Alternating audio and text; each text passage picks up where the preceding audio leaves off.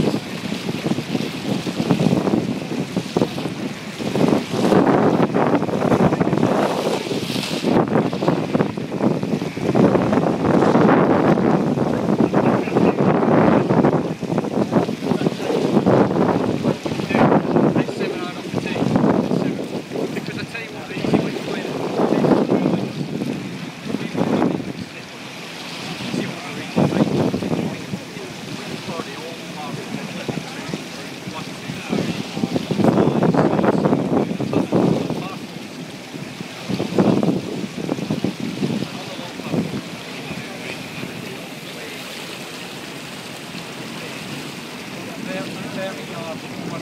we